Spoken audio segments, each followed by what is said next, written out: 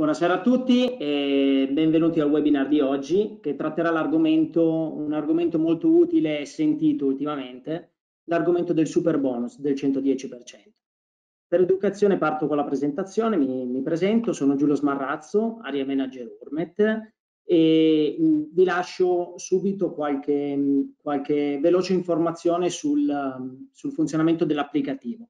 In alto a destra trovate una sezione domande nella sezione domande vi sarà possibile eh, porci dei quesiti a cui poi risponderemo nell'apposita sezione prevista durante la presentazione. Sempre nella stessa dashboard trovate la sezione documentazione alla quale vi sarà possibile scaricare le slide che andremo a presentare stasera per poi eh, poterne usufruire in, diciamo, in un secondo momento in differita. Comunque vi ricordo che il webinar di stasera, come da usanza Urmet, sarà, sarà registrato e sarà messo disponibile online sia su YouTube che sul nostro sito urmet.com. Prima di partire mi sembra corretto e doveroso presentare i colleghi eh, della 3i Group di oggi, che sono eh, Gianluca Gualco e Mirko Balachia. E la, la 3i Group è un gruppo imprenditoriale che nasce nel 1984 e, e si occupa di ingegneria, progettazione, consulenza e formazione sia in campo civile che in campo industriale. Con particolare focus, ed ecco perché sono qui con noi stasera, sull'efficientamento energetico, l'ambiente e la sicurezza, quindi possiamo dire che sono esperti in tal senso. E quindi prima di passare magari la, la parola a Gianluca, eh, conto che ci sono circa 400 iscritti al corso, e spero che Gianluca non si faccia prendere dalla timidezza perché in questo momento ce ne sono, sono online 438 persone, quindi se sei timido scappa, se non sei timido in bocca al lupo. Gianluca, a te la parola. Allora, guarda, ho tanti difetti ma la timidezza non fa parte di questi. Eh, buonasera a tutti, eh, mi presento molto brevemente. Eh, io sono Gianluca Gualco, sono uno dei partner dell'azienda, sono un esperto gestione energia e un manager per la sostenibilità. Eh, oggi vorrei mh, darvi eh, un'infarinatura molto larga di quello che è il 110%, eh, per poi portarvi ad una parte invece più tecnica che farà il mio socio Mirko, eh, per entrare più proprio nella parte tecnica e generale. Ehm, partiamo però perché mi piace fare questo, mi piace sempre partire da uno stato di fatto, da una situazione, no? Eh, in che situazione siamo oggi? Eh, L'Italia è un paese bellissimo, è un paese bellissimo, estremamente complicato dal punto di vista delle norme ed estremamente strano dal punto di vista di patrimonio edilizio eh, abbiamo un patrimonio edilizio che è stato costruito di media, la media italiana, eh, la media dell'anno di costruzione delle case è del 1950 circa. Gli impianti all'interno delle case, come media, eh, sono stati costruiti alla fine degli anni 70.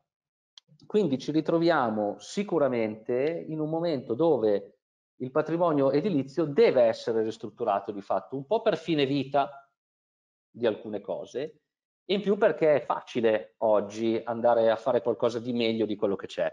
Eh, siamo anche in una situazione dove ehm, non ci sono stati mai, perlomeno da quello che ricordo io, io faccio questo mestiere da vent'anni, sicuramente ci sarà qualcuno che lo fa da più tempo di me, non ci sono mai stati momenti in Italia dove ci sono eh, stati interventi strutturali significativi sugli edifici. Eh, quali tipo di edifici? Ovviamente parliamo di edifici residenziali. Condomini, case singole, non hanno mai avuto un incentivo e una spinta per andare a sistemarsi in maniera significativa, ma tutti questi interventi sono stati sostituiti di fatto da interventi manutentivi dell'ultimo minuto. Mi si è rotta questa cosa, la cambio. Ah, non c'è più perché è vecchia, devo fare qualcosa di nuovo. Eh, in più ci siamo accorti eh, in questo periodo che principalmente gli interventi che sono stati fatti, questi interventi manutentivi o di sostituzione, sono fatti principalmente sulla parte termica. La caldaia che mi si rompe, eh, il chiller che non mi funziona più e pochissimo è stato fatto eh, sulla building automation, sui sistemi di controllo, c'è veramente molto molto molto poco.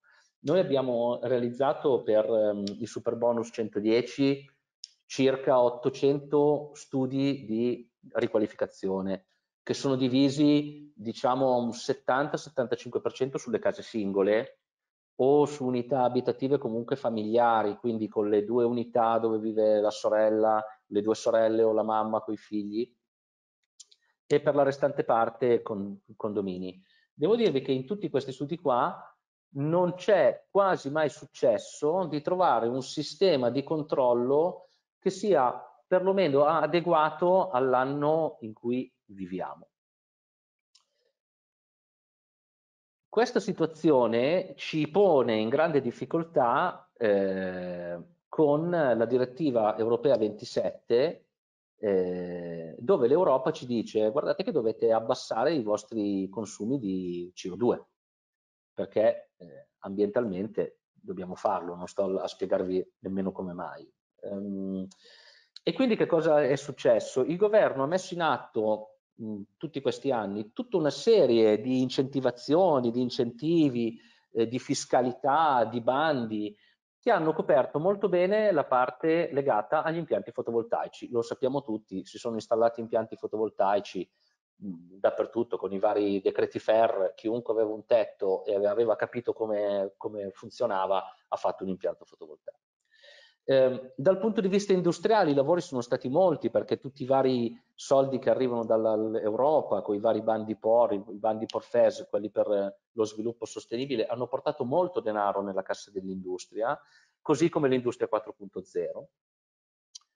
La parte di conto termico ha fatto, ci ha fatto lavorare molto bene dal punto di vista della pubblica amministrazione.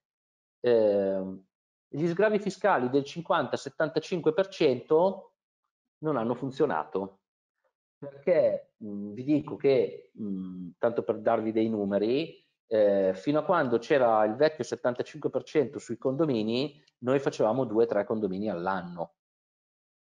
Ma questi condomini lo facevano non per una volontà di fare, ma perché appunto c'era un intervento manutentivo tale che gli conveniva fare qualcosa in più per poter arrivare ad avere il 75%.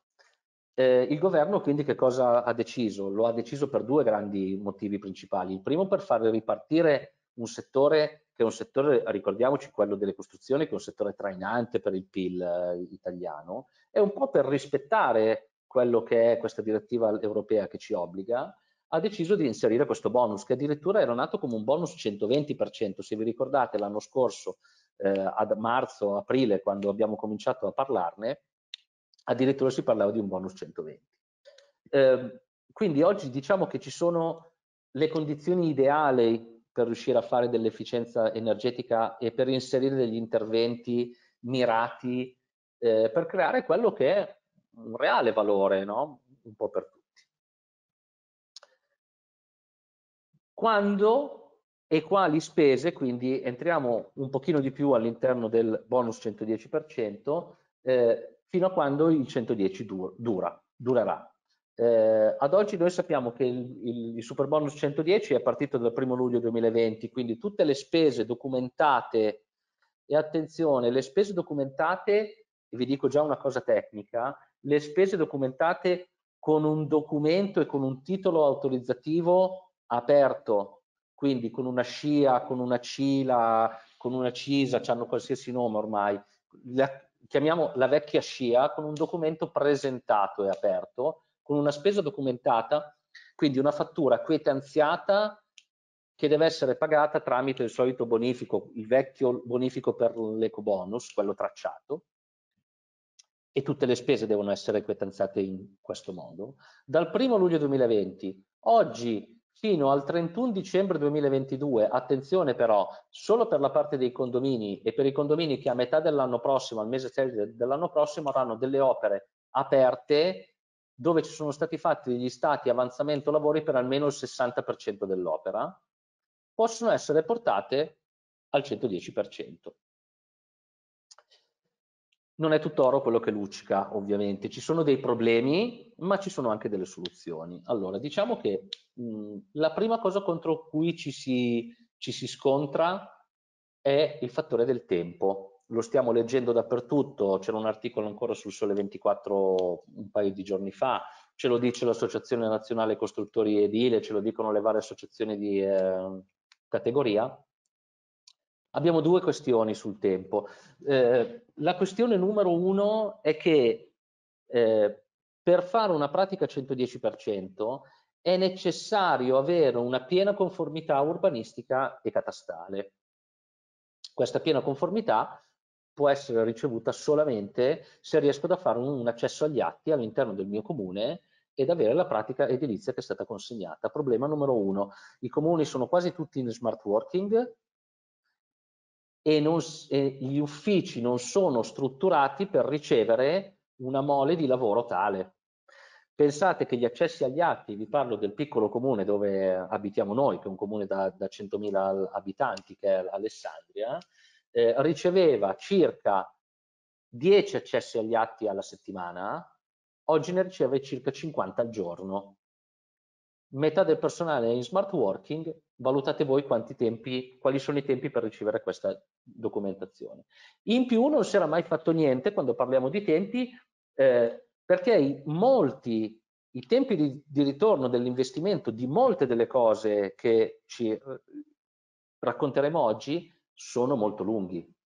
Cioè il tempo di ritorno dell'investimento di un impianto fotovoltaico sappiamo benissimo che su una villetta, su una casa singola, se il tempo di ritorno sta intorno agli 8-9 anni, dobbiamo fare i salti di gioia.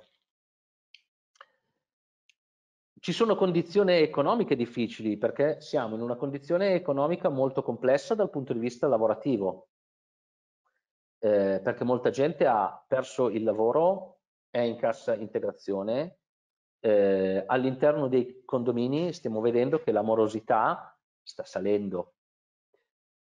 Un problema di fiducia, perché per fare un lavoro legato al 110% bisogna fidarsi, bisogna fidarsi molto di chi progetta, bisogna avere una grande fiducia nelle istituzioni, perché il 110% di fatto è un bonus che ti rilascia lo Stato, quindi devi essere sicuro di quello che fai. E non in ultimo una grandissima complessità. Vi assicuro, noi siamo principalmente una società di ingegneria, noi siamo progettisti, vi assicuro che era molto difficile eh, per 3i vedere entrare dalla porta fino a qualche tempo fa un cliente privato. Perché siamo una società di ingegneria che comunque fattura circa 3 milioni e mezzo di euro di carta tutti gli anni e nessuno veniva da noi per chiederci la ristrutturazione di casa sua, cosa che è cambiata immediatamente quando la gente ha cominciato a capire le complessità del super bonus, che sono, c'è una, una difficoltà oggettiva nel scegliere che cosa fare, perché pochissimi sanno di che cosa stiamo parlando e c'è una seconda difficoltà, attenzione, eh, lo dico sempre, non stiamo mandando un missile nello spazio, fare un progetto di, legato al super bonus 110% non è complesso. Scusate, non è difficile perché stiamo sostituendo degli infissi, stiamo montando della building automation, stiamo montando un impianto fotovoltaico, stiamo installando un sistema ibrido, non è un lavoro difficile. È un lavoro però estremamente complesso perché per arrivare alla fine di questa, di questa pratica bisogna ragionare in un modo in cui in Italia non siamo pronti, nel senso che siamo abituati a lavorare in una maniera diversa. Ma vi racconterò poi dopo qual è perlomeno il mio pensiero e il pensiero di 3i di come bisognerebbe approcciare questi lavori. I problemi però, come sempre, hanno anche delle soluzioni. Allora, sicuramente attraverso l'efficienza energetica eh, siamo in grado perlomeno di abbattere la spesa energetica e quindi una difficoltà di gestione della propria casa, della propria spesa corrente. Sicuramente la condizione economica oggi con il bonus 110%, e qui devo fare un appunto importante, eh, la condizione economica, quindi l'investimento che il proprietario di casa deve fare, è estremamente migliorato. Perché? Perché come sappiamo tutti, il 110%, quindi questo bonus fiscale, può essere ceduto. E oggi esistono istituti di credito, addirittura le poste italiane lo comprano, imprese, società, grandi società che fanno da general contractor, parlo di NLX, Eni, la SNAM, la TEP, si possono comprare questo credito d'imposta e alcune addirittura fanno un prestito ponte a chi cede, quindi al nostro cliente, per poter fare queste opere. Devo dirvi immediatamente una cosa però, eh, vi parlo per esperienza personale, è difficilissimo che nella condizione della casa singola l'utente riesca effettivamente a fare un super bonus 110% senza metterci nemmeno una lira. Cioè bisogna partire dal presupposto che un pochino di investimento da parte del cliente finale va fatto. Sulle pratiche che ho visto io in questo momento, vi posso dire che questa condizione si parla di un 10-15% dell'investimento. Alcuni clienti di casa singola sono andati a zero, è vero, ma sono pochi. La media parliamo di un investimento del 10-15%. Quindi che cosa significa? Faccio 100.000 euro di opere legate al bonus 110, probabilmente riuscirò a portarne in detrazione 90, che mi verranno sicuramente comprati, quindi quei 90 riuscirò a non metterli, ma un 10.000 euro dovrò metterceli. Quindi questa è una cosa importante da dire a tutti. Quando invece cominciamo a parlare di condomini, questa problematica non esiste più, cioè con, l'aumento del numero delle unità immobiliari che compongono l'edificio, e adesso vi spiego come mai, questo problema non c'è più. Perché? Perché, come sapete, eh, i massimali di spesa che si possono portare in detrazione derivano principalmente da due fonti. La prima fonte è un moltiplicatore che lavora sull'unità immobiliari che compongono l'edificio. Quindi casa singola, moltiplicatore 1 per, vi faccio un eh, esempio, eh, per installare un cappotto termico, io su quella casa singola ho 50.000 euro. Ecco che vediamo che se incominciamo a vedere che questa casa singola incomincia a essere una casa di più di 200-250 metri quadri, dove voglio fare cappotto dappertutto, questi 50.000 euro non mi sono bastevoli, perché dentro quei 50.000 euro, ed è un bene per noi, c'è lo studio di fattibilità preliminare per capire che cosa devo fare, il progetto, la direzione lavori, la sicurezza, l'installazione, la posa, le assicurazioni, i visti di conformità finali. Tutte queste cose vanno al 110%, tutte però vanno su quel capitolo di spesa. È altresì ovvio però che nella condizione invece diversa dove lavoriamo su edifici più ampi, allora questo non è più un problema, nel senso che questo moltiplicatore si amplia. La seconda cosa che dobbiamo fare, e ci tornerò sopra dopo, è che tutte queste opere devono essere computate, perché la norma prevede che per portare in detrazione il 110%, questa spesa deve essere di fatto avallata da un tecnico. E questo tecnico lo può fare solamente prendendo, facendo un progetto, un computo metrico, prezzando questo computo metrico in ordine, vi dico come, con preziario regionale o preziario il DEI, l'unico preziario nazionale mh, sensato che abbiamo. In mancanza di questo può fare un'analisi prezzi, in mancanza dell'analisi prezzi può creare un prezzo dal punto di vista analitico e poi solo in ultima razio può andare ad appoggiarsi all'allegato I del DM34 che dice che per esempio per ehm, l'installazione di sistemi di building automation, io ho 50 euro al metro quadro. Fatevi due conti su una villetta da 100, su una casa, su un appartamento da 100 metri quadri, un appartamento tipico italiano con le due camere da letto, sala, cucina, due bagni, fatevi due conti se voi il sistema di building automation con 5.000 euro riuscite a farlo, ve lo dico io. No, perché c'è il progetto, c'è l'installazione, ci sono i materiali, non si riesce. Quindi è ovvio che bisognerà fare un computo metrico e farlo prezzare. Ma torniamo alle soluzioni. È importante anche dire che sicuramente ehm,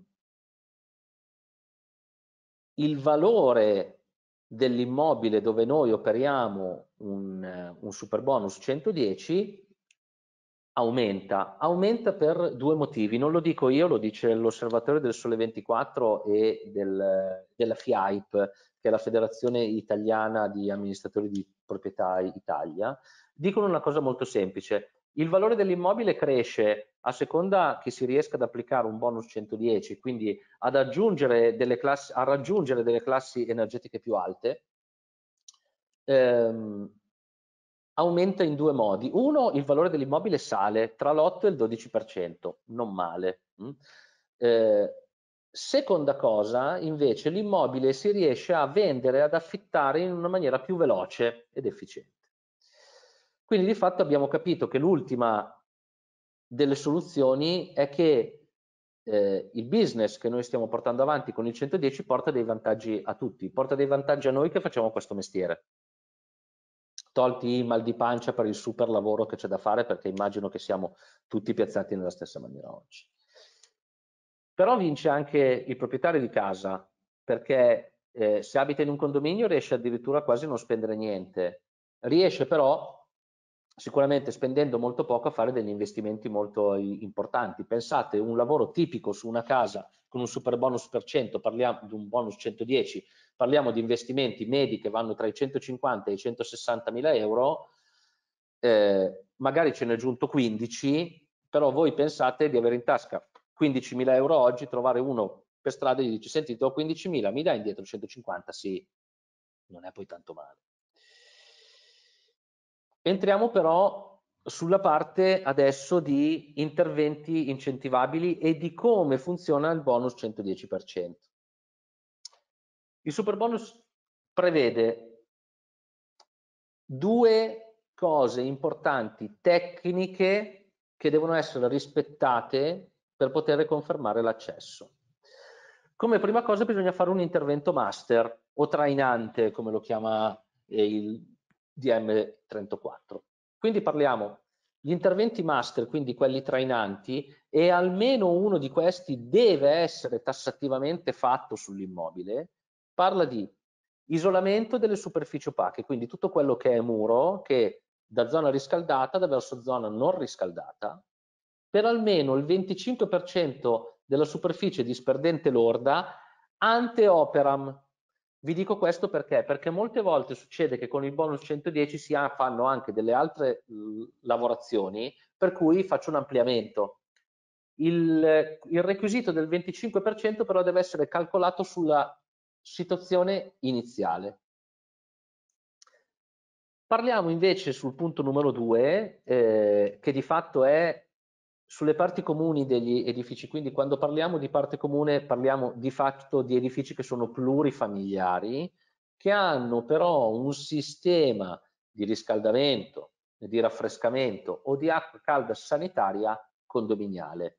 Per intervento di fatto stiamo parlando di sostituzione, quindi vado a sostituire la vecchia caldaia e magari riesco a montare un sistema ibrido, eh, metto una caldaia a condensazione di nuova generazione, Ritorniamo invece sul punto numero 3 su edifici unifamiliari. Attenzione, è importante perché questo è un altro paletto che la norma oggi prevede e, e l'Agenzia delle Entrate, nonostante le varie richieste che sono state fatte, non ha ancora risposto.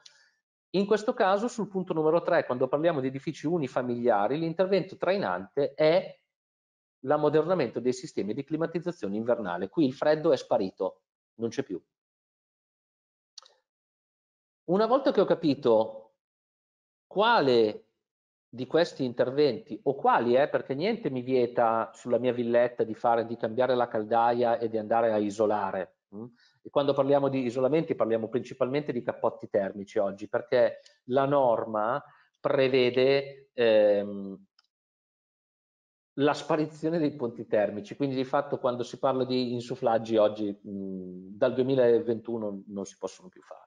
Una volta che ho fatto quindi un intervento master, ecco che entriamo nel nostro, entriamo nella parte che vi interessa di più, perché tutti gli interventi di efficientamento energetico che possono essere messi in atto, e sono questi sulla destra, vanno anch'essi al 110%, e insieme concorrono a fare la seconda cosa che è fondamentale per riuscire ad accedere al bonus 110%, ovvero prendere l'edificio e fargli fare un salto di due classi energetiche verso l'alto. Quindi il mio APE deve salire di due classi o andare nella classe migliore possibile facendoci certificare questa cosa da un professionista. Quindi sono in A, non posso salire più di così, non posso fare niente di meglio, non riesco a farla salire, vado al 110% comunque. Gli interventi trainati, parliamo di impianti fotovoltaici, quindi parliamo delle FER, delle fonti di energia rinnovabili, impianti fotovoltaici, pannelli solari, infissi, schermature solari. Quando parliamo di schermature solari parliamo sia di tende sia della sola sostituzione della parte esterna dell'infisso, quindi o della tapparella o della persiana, sostituzione di caldaie, building automation, dispositivi multimediali e colonnine di ricarica. Quindi che cosa succede? La prima cosa che abbiamo capito questa sera è che il lavoro che, noi, che voi dovete andare a fare è trainato da un altro, quindi non potete lavorare in maniera autonoma con il 110% perché il vostro intervento, quando parliamo di building automation e di dispositivi multimediali, può essere messo in atto se e solamente se viene fatto un intervento master. Dovrei essere ancora nei tempi, non sto guardando, ma direi che ci, che ci sono. Ho ancora un, una slide di fatto. Eh, Qual è per la nostra esperienza? Allora, parlare di esperienza sul bonus 110% fa ridere i polli, perché l'esperienza non ce l'ha nessuno, perché questa qua è una cosa che è nata a luglio dell'anno scorso, le operazioni sono partite di fatto a settembre-ottobre, perché prima la normativa non era ancora chiara, quindi è un'esperienza piccola, ma è un'esperienza. Diciamo che però abbiamo capito siccome siamo anche una società che fa da general contractor, siamo una piccola società che fa da general contractor, abbiamo capito qual è la strada corretta per portare uno dei nostri clienti al bonus 110%. Primo, progettare le opere.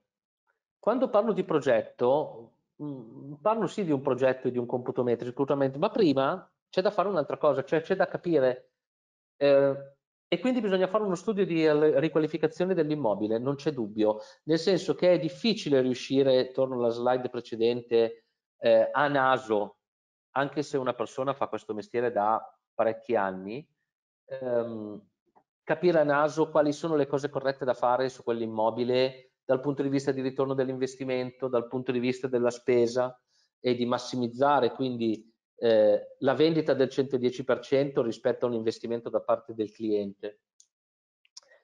E quindi bisogna fare uno studio. Una volta che è stato fatto questo studio, le opere vanno progettate e vi spiego semplicemente come mai. Le opere vanno progettate perché la vendita del credito d'imposta, che è quella di cui vi stavo parlando prima, di fatto si fa su, su base progettuale. Perché? Perché chiunque si compri il credito d'imposta, ed è una cosa che ci interessa perché rende liquido il nostro cliente, chiunque si compra quel credito d'imposta lo compra sulla carta. Quindi vuole un progetto esecutivo, solitamente. da questo progetto deve realizzare un computo metrico e vuole che gli installatori o i fornitori creino un'offerta a corpo su quel computo.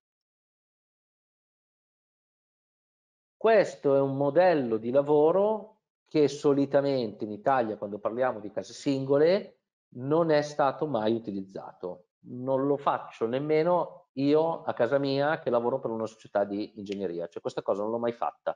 Chiamavo eh, il mio elettricista, gli facevo fare un preventivo, gli facevo fare il lavoro, punto. Con il 110% questo sistema non funziona più, perché o il mio cliente ha i soldi in tasca, decide di pagare, paga lui. Problema numero uno, chi mi certifica le opere? Nessun progettista farà mai un'asseverazione di conformità su un progetto che lui non ha fatto, perché non sa che cosa è successo. Nessun progettista darà mai la conformità a un impianto dove non ha fatto direzione lavori. Due, soluzione numero due, invece, come vi ho detto prima, il cliente non ha i soldi o non li ha tutti e quindi deve venderlo. Per venderlo si vende sulla carta, quindi il progetto deve essere estremamente importante ed è estremamente importante, secondo me, che i progettisti parlino con le imprese quando progettano, perché ehm, sono d'accordo con voi e con quello che penserà secondo me quasi tutta la platea, che voi ne sapete molto di più rispetto a un'installazione o a un progetto di, di, questo genere rispetto a un progettista, perché lo fate tutti i giorni. Per noi progettare una casa è una cosa difficile, devo dirlo pure sacrosanta verità, a meno che non sia un progettista che fa solo quello, esiste. Quindi secondo me anche il lavoro deve essere un lavoro fatto molto di squadra, cioè è importante fare squadra su questa cosa e lavorare insieme per riuscire a creare quella che deve essere tra l'altro un'offerta a corpo e lo sottolineo a corpo perché il compratore di credito d'imposta compra il credito a corpo, non gli fatturerete, non potrete fatturargli, soprattutto se è un istituto di credito, né un euro in più né un euro in meno di quello che gli avete messo in offerta. Quell'euro in più, se vi serve, dovete andarlo a chiedere al cliente, ma vi ricordo che il cliente magari sta facendo 150.000 euro di opere ed è già impegnato per quel 10%, quindi quei 15.000 euro, quindi magari quell'euro in più che vi serve non ce l'ha più. E quindi bisogna creare molta attenzione su questa parte. Mm mi sembra di avervi raccontato un po' tutto, stavo facendo mente locale se vi ho detto tutto quello che pensavo di, di dirvi. C'è comunque sia poi una parte di eh, domanda e risposte o question and answers, come diciamo noi. Il, ehm, direi che vi lascio, lascio la, la, parola adesso al mio socio Mirko, eh, in modo che possa entrare un pochino di più nella parte tecnica eh, e poi spazio alle domande eh, per, per, tutti. Gli lascio non solo eh, la parola, ma gli lascio anche la seduta addirittura. Arrivederci.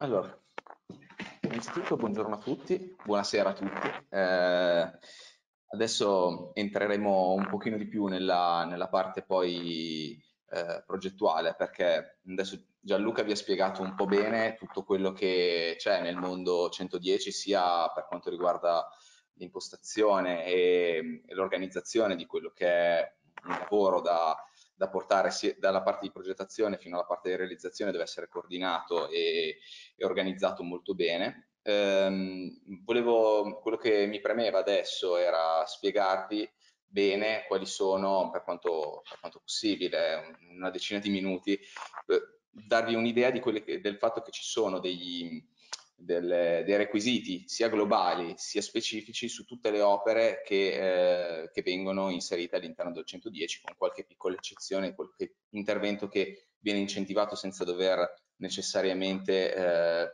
essere controllato da un punto di vista di requisiti tecnici specifici. Io mi occupo, sono un ingegnere energetico, in, uh, mi occupo in 3I in particolare della, di, di efficienza energetica e eh, nell'ultimo periodo chiaramente anche di coordinamento del gruppo di lavoro per quanto riguarda la progettazione delle, delle opere di efficientamento energetico all'interno del 110, quindi per clienti che sono di tipo residenziale. Um, come vi anticipava Gianluca precedentemente, ci sono dei requisiti fondamentali eh, per, per, accedere al 110 di tipo, di tipo, globale, che sono il superamento delle due classi energetiche, tenendo conto di tutti gli interventi che effettivamente saranno realizzati, trainanti o trainati, e eh, che deve essere presente almeno un intervento trainante. Se parliamo di condominio, almeno il condominio deve chiaramente realizzare un intervento trainante per poi poter effettuare interventi singoli poi su, sulle singole unità immobiliari. Chiaramente, come diceva Gianluca, non tutti, cioè un edificio che si trova già in classe energetica A3 non può chiaramente eh, fare un salto di due classi, deve necessariamente fare il, classo, il salto di una, di una, singola classe perché è già in una classe energetica molto molto elevata, quindi c'è qualche piccola eccezione sul, sul primo dei criteri. Comunque questi sono i criteri fondamentali. Poi però ci sono anche degli altri requisiti specifici. Adesso vi, vi, ho, vi ho inserito una tabella che, mm, che in, mm, descrive quali sono i requisiti specifici per le pompe di calore elettriche, che sono uno dei, dei possibili interventi trainanti o, o, trainati a seconda dei casi, per, eh, per, accedere quindi al super bonus. Le pompe di calore, eh, è richiesto alle pompe di calore di avere un coefficiente di performance veramente molto elevato. Eh, se prendiamo per esempio un'area-aria, eh, un, un COP pari a 3,9. Questo valore mh, è un valore che, che va eh, verificato e controllato sia in sede di progettazione con, uh, con, le schede tecniche, sia effettivamente poi anche in cantiere, che arrivi la macchina corretta e che venga installata la macchina corretta. Perché eh, se al contrario nel, de, nelle detrazioni 65 e secondo i requisiti, i requisiti minimi per realizzare nuove, nuove, nuovi impianti, nuove, nuove di, nuovi edifici ci sono dei requisiti meno stringenti, per il super bonus molto spesso questi requisiti sono più elevati e non tutte le macchine effettivamente in commercio, non tutti i prodotti in commercio sono effettivamente utilizzabili con questo scopo. Ho voluto inserirvi l'esempio fisico delle pompe di calore perché eh, effettivamente è uno di quei casi in cui il dubbio se una, se una, macchina in particolare rientra o non rientra è un dubbio che spesso ci poniamo anche in sede, in sede progettuale. Gli interventi trainanti sono tendenzialmente sono, eh, sono due e sono l'isolamento termico delle superfici che possono essere orizzontali e inclinate deve sicuramente sempre su, eh, superare il 25% della superficie disperdente. Se non supera il 25% della superficie disperdente necessariamente diventa un, un intervento trainato anche, anche per questo bisogna stare molto attenti perché chiaramente c'è in gioco se abbiamo un solo intervento trainante c'è in gioco tutto l'accesso al 110. Se, non, se, le specifiche, se, se mh, effettivamente non vengono eh, isolate le superfici che sono state previste a progetto per superare il 25%, avviene un errore di calcolo, chiaramente si rischia l'intero super bonus su tutte le opere, anche quelle trainate. Stesso discorso eh, vale per gli impianti termici. Gli impianti termici possono essere ehm, parliamo di impianti di climatizzazione, la sostituzione integrale o parziale di tutti gli impianti di climatizzazione invernale esistenti, a patto che ci sia un salto tecnologico, quindi ehm, quasi, tutti, quasi tutto il parco immobiliare eh, monta delle caldaie, specialmente nelle zone, nelle aree del nord, dove le pompe di calore non garantiscono sempre eh, le prestazioni necessarie a soddisfare il, il comfort interno del, dell'edificio e quindi ovviamente eh, in questo caso nel, nel, fare la valutazione, nel de definire quale prodotto andare a inserire in un secondo momento bisogna chiaramente considerare, eh, considerare impianti eh, che, facciano, che permettano il salto tecnologico.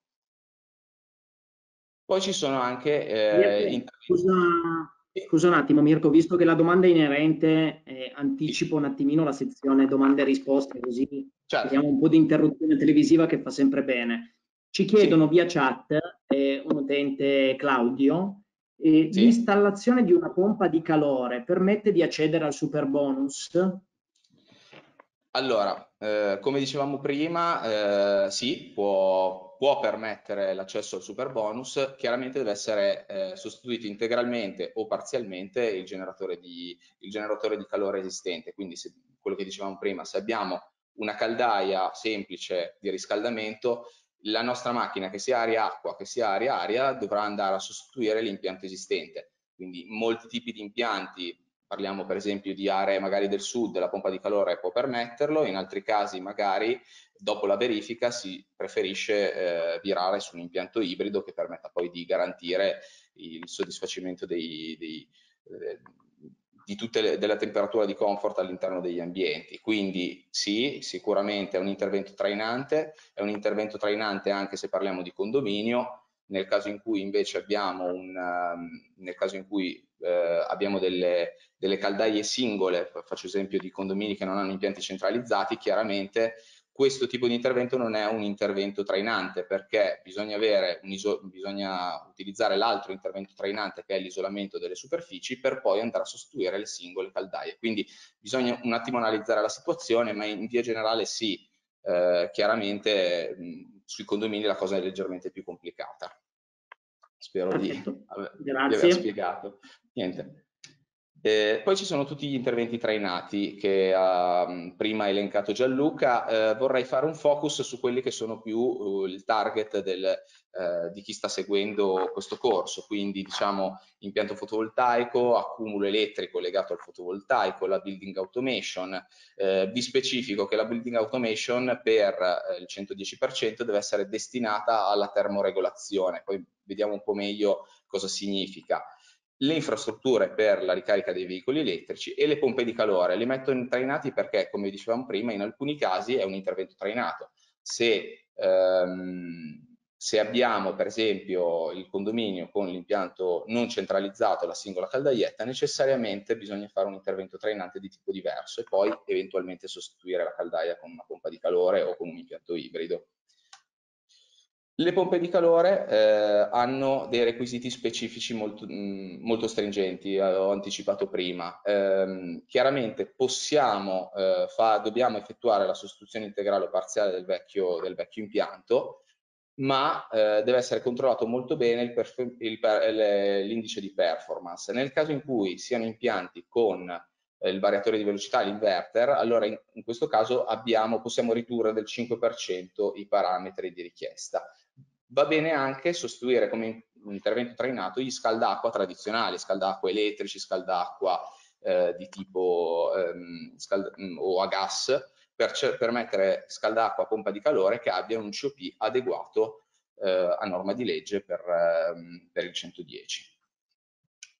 Andando invece sull'altro intervento importante che è relativo, relativo alla, a installazioni elettriche eh, incentivabile col 110, Possia, eh, vi volevo parlare un po', volevo approfondire un attimino la questione del DMS. Vi dicevo prima che questo tipo di intervento deve chiaramente essere eh, legato alla termoregolazione, quindi noi dobbiamo sicuramente eh, regolare eh, gli impianti, gli, impianti, di climatizzazione, l'impianto di riscaldamento e dobbiamo farlo con una classe, ehm, una classe elevata di eh, di efficienza, cioè il nostro sistema di termoregolazione deve effettivamente incidere nel, nel risparmio energetico dell'abitazione. Questo cosa significa? Se eh, in una classifica che va da, secondo la norma 15232, da A a D, le case generiche sono sicuramente nella classe, nella classe D, cioè non hanno un, un effettivo sistema di, di, di, di programmazione. Invece la, quello che è richiesto a livello, di, a livello, di, 110 è raggiungere, come anche per altri incentivi, conto termico o decreto 60, o 65% o, o, anche i titoli di efficienza energetica, è necessario sicuramente avere una classe, una classe B. Ehm, quindi eh, dobbiamo sicuramente poter controllare i nostri consumi energetici, controllare funz il funzionamento dell'impianto da remoto e poter monitorare la temperatura delle, delle aree, delle aree so, so, sottoposte a regolazione. Per quanto riguarda ehm, la programmazione, dobbiamo anche garantire una programmazione settimanale da orologio diciamo, del, del sistema e poterlo modificare anche da remoto. Mirko, giusto per, per, approfondire, perché vedo che in due l'hanno richiesto eh, sì. in termini diversi, però vediamo se ti mettiamo un attimino in difficoltà, no? Eh, sì. Visto che conosci molto bene le normative, noi che siamo di qua un pochettino di meno, eh, ci chiedono cosa significa in senso pratico livello B di regolazione. Quindi siamo curiosi di vedere come ce lo spieghi in modo semplice, no? Ok. In senso pratico, eh, andare ad avere una classe di regolazione B significa, eh, significa poter eh, controllare sicuramente il sistema da remoto, come, come vi dicevo poc'anzi, e eh, significa che ehm, in, le singole stanze, quindi la, per esempio se noi abbiamo il classico impianto a pavimento con una una, con la regolazione delle temperature stanza per stanza, io devo poter da remoto controllare tutte le stanze e avere l'indicazione da remoto di qual è la, te la, temperatura effettiva di quella stanza. Se non sono in grado di fare, di fare questo con, con, il mio sistema, chiaramente sono in una classe di, di, una classe di regolazione di tipo C, quindi o perché mi manca la remutazione o perché comunque la singola zona non è in grado di comunicarmi dall'esterno la, la, la, cosa.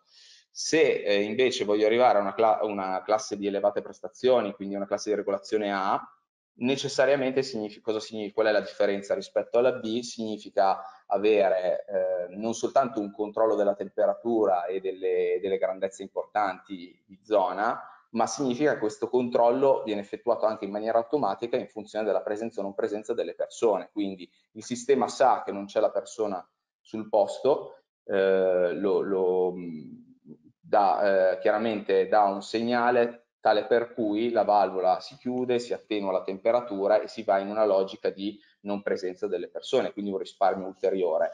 Nella classe B invece devo poter fare tutte queste cose da remoto, non è necessario chiaramente che sia, che sia tutto a questo livello invece di automazione, chiaramente.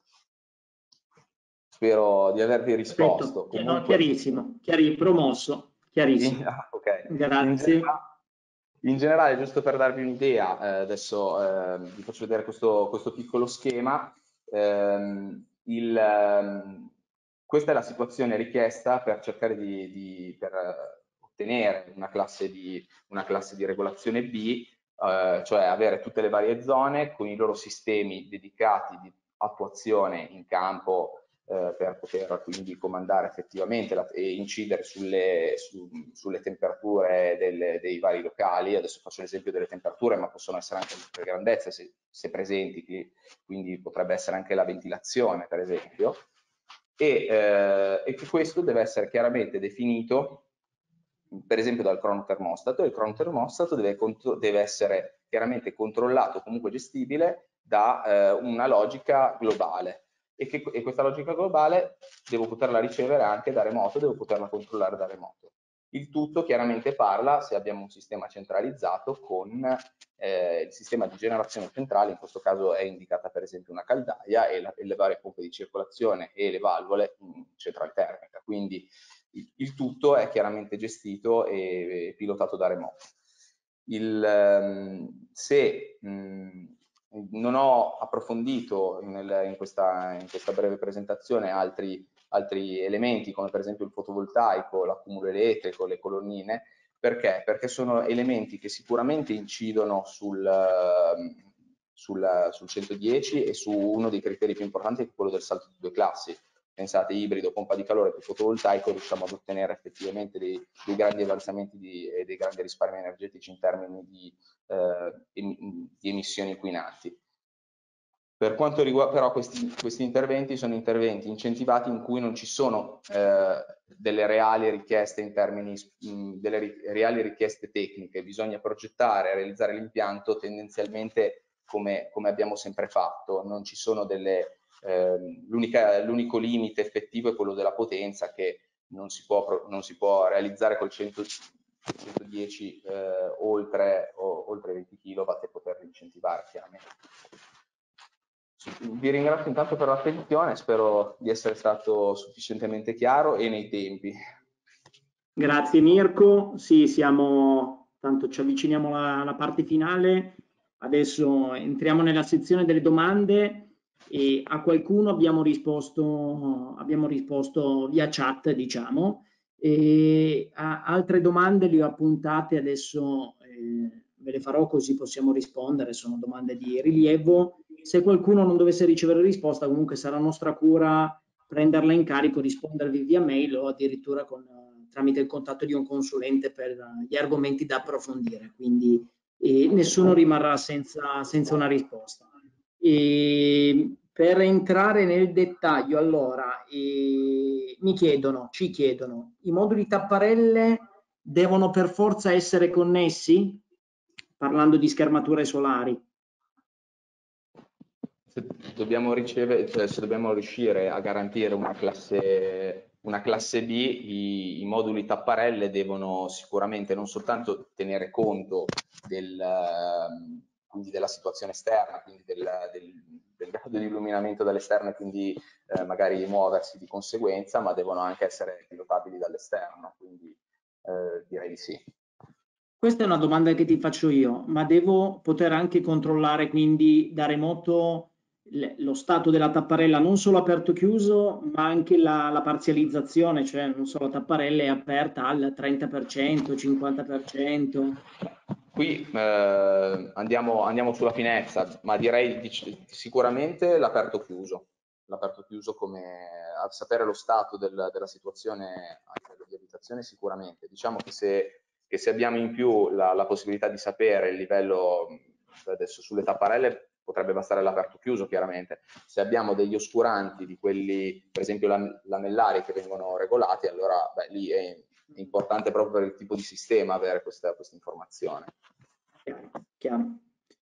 Ok, e altra domanda di interesse.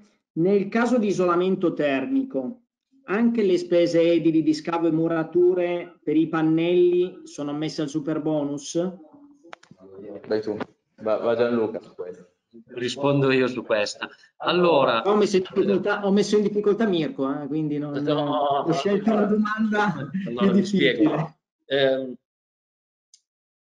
bisogna farsi una domanda molto semplice quando si parla di quali spese rientrano nel super bonus 110%. La domanda è una e una sola soltanto, è posso fare quest'opera senza fare quest'altra? Cioè, posso inserire eh, nel sottotetto di questa casa della coibentazione che è piena di merda di piccione? No. e quindi devo sistemare. Quindi devo pulire il muro, lo devo raschiare, tutta la preparazione tecnica per la posa. Posso posare se non faccio questa preparazione? no, non avrei una corretta posa e quindi il professionista direbbe che non è, che non è posato correttamente. Quindi si rientrano tutte ed è proprio per questo che i massimali a volte vanno a pallino, perché posare un cappotto costa 50, 60, 70 euro metro quadro eh, finito, voglio dire, ma sono tutte le altre lavorazioni che ci girano attorno che fanno crescere questo prezzo. Quindi la domanda è semplice, è posso fare questo lavoro se non faccio quest'altro? C'è un allarme appiccicato? devo fare il cappotto, smontare l'allarme e rimontarlo è un'opera 110, il cappotto lo puoi montare senza smontare quella roba lì? No, allora va al 110%, perché allora, l'azione preparatoria per eh, il montaggio. Chiaro, risposta chiarissima. E arriva un'altra domanda che abbiamo selezionato tra le tante, è tra i lavori dell'elettricista, questa è una domanda generica ma penso che sia sia molto utile. Tra i lavori dell'elettricista, quali possono rientrare di standard nel super bonus? Forse è una domanda generica, di, difficile però. No, non, non credo di averla capita, però. Tra i, tra i, lavori che solitamente l'elettricista fa all'interno di un'abitazione, io la, la, leggo così, quali possono rientrare di standard nel super bonus? Impianti fotovoltaici, tutta la parte di forza sulle macchine, quando faccio un cambio metto una pompa di uh, calore o altro, e tutta la parte di sistemi di controllo HVAC, quindi della temperatura. E tutto quello che è building automation, come ha detto Mirko, legato al, eh, al controllo del, del comfort, diciamo, della casa. Ancora, stanno arrivando una miriade di domande nell'ultimo, nell'ultimo secondo, ne prendo qualcuna così senza filtrarla prima. Sulla sostituzione di un impianto video citofonico condominiale eh, è detraibile e come eh, singolo condo- è detraibile come singolo condomino punto di domanda. Questo lo chiede Antonio. Allora Antonio è un'opera di è una sostituzione non, allora non è un 110% perché non parliamo di energia mm, ok? Se l'impianto è condominiale allora devo dire la verità che sta un po' alla sensibilità dell'amministratore quello che vedo fare io di solito è una divisione per millesimi, ma è un 50%, non è una detrazione 110 perché non parla di energia, ok? Quindi è un normale bonus 50. È detraibile okay. comunque. Ah, importante, anche le detrazioni 50-65 eh, si possono vendere, eh? non solo il bonus 110 può essere venduto, yeah. quindi l'investimento può comunque sia calare comunque. Eh. Um, Aldo chiede se uno deve installare solo i condizionatori? Rispondo io. Al, è il discorso che ci facevamo prima, nel senso che il, sicuramente se è una sostituzione integrale o parziale di quello che è il generatore esistente, può essere considerata, deve essere, considerata, deve essere valutata dal tecnico, ma potrebbe essere un intervento trainante o trainato all'interno di un 110%.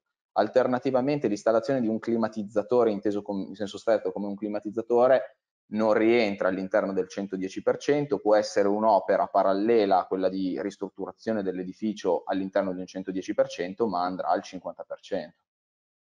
Faccio l'ultima domanda se no andiamo fuori. Dicevi Gianluca? Attenzione, eh, ricordatevi che anche il 50% richiede la pratica edilizia, quindi ricordatevi sempre questo, eh. il titolo autorizzativo è importante, perché non siamo abituati a farlo. Eh. Chiamo il mio elettricista e mi faccio montare il condizionatore, sì, no bonus. se l'impianto videocitofonico è in formato IP, usando la fibra ottica e quindi realizzare un impianto multiservizio, può finire nel 110? È un trucco. Allora, eh, è ovvio che se faccio un sistema di building automation di nuova generazione, tutta la parte di traccia e di linea non servirà solo quello, no? non servirà solo la parte di gestione dell'immobile dal punto di vista termico, ma magari porterà anche delle altre cose. E questo è un trucco, è un trucco che i progettisti, ma lo fanno, cioè è un trucco, non, non, non si fa niente di male, nel senso che magari tutte le tracce, tutte le linee, tutti i cavi, tanto per capirci, li butto nel 110% perché, perché poi metto quegli apparati in più che mi servono che non fanno parte del 110%, però magari le linee me le sono tirate già tutte. Chiaro, chiaro. E Mirko Gianluca mi sono tenuto per ultimo la domanda un pochettino più inerente a Urmet, che è la domanda che noi commerciali aspettavamo, qualcuno alla fine l'ha fatta. Intanto chiedo scusa, le domande alla fine sono arrivate tutte insieme, se qualcuno non ha ricevuto risposta la riceverà nel breve, nel breve tempo. Quindi da Urmet o da 3i dipende eh, chi, chi, è in grado di rispondere meglio. No?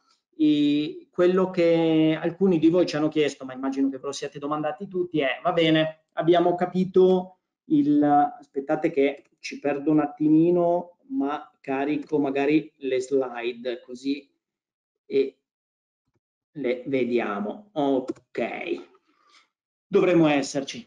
E allora, quello, quello che alcuni di voi ci hanno chiesto è semplice, nel senso, abbiamo parlato del, insieme alla 3i del 110 di, sono, di quali sono le opere eh, trainanti no? e di quello che può essere trainato. Ma in funzione di Urmet, la domanda è molto semplice. Quali prodotti Urmet possono eh, finire diciamo, all'interno del discorso del 110%? Quali possono essere trainati? Quindi un po' come diceva Gianluca adesso sul finire, eh, sicuramente il monitor di building automation finisce nel discorso, il nostro monitor IP eh, 7 pollici max può essere trainato, così come tutti i dispositivi di attuazione tapparelle, schermanti, tende da sole.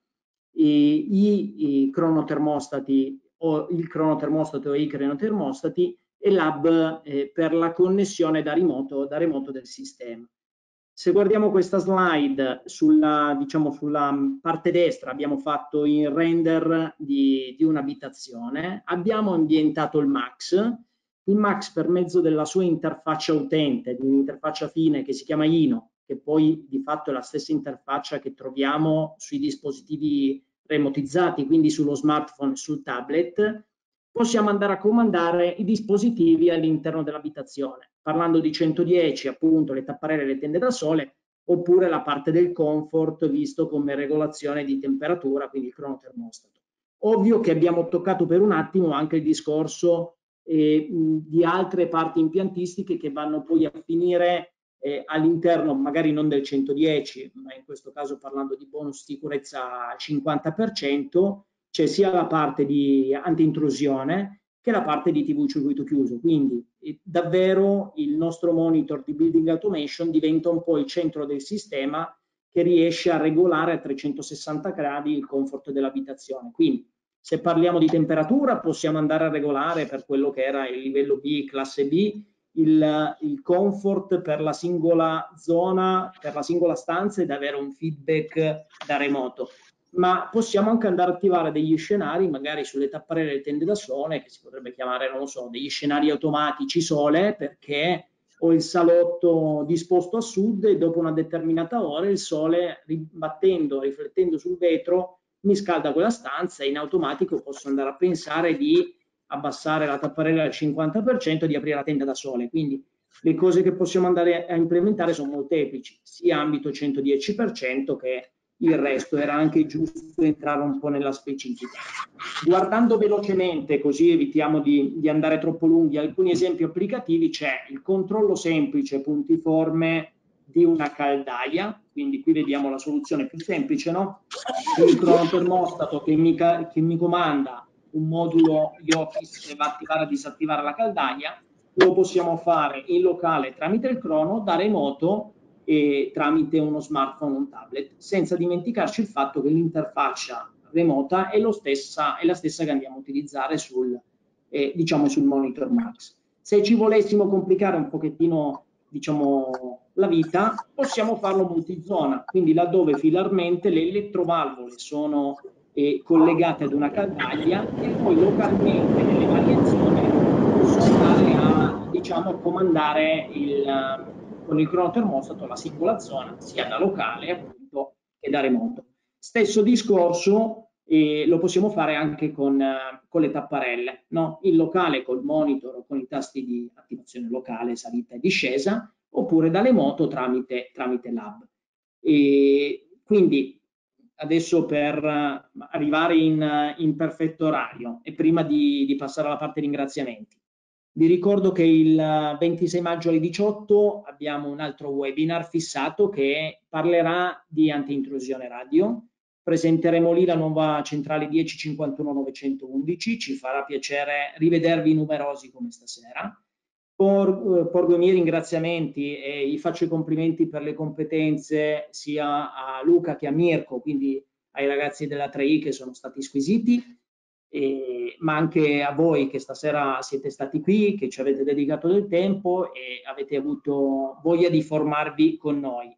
Il corso, ovviamente il corso, la presentazione era un'infarinatura molto veloce, la nostra modalità operativa rimane sempre la stessa, quindi avete capito qual è l'opportunità, come funziona. Se si presentasse qualcosa di interessante, l'invito è quello di sentire il consulente tecnico a voi dedicato, consulente tecnico di zona o l'agenzia. Sarà poi nostra cura lavorare insieme e andare a approfittare dell'opportunità che si presenta. Quindi, per chiudere, vi ringrazio a nome mio e a nome della, di tutta la famiglia Urmet e di tutti i colleghi Urmet. E grazie e al prossimo appuntamento. Grazie a voi, arrivederci. Arrivederci. arrivederci. Grazie, grazie, grazie. Buona serata.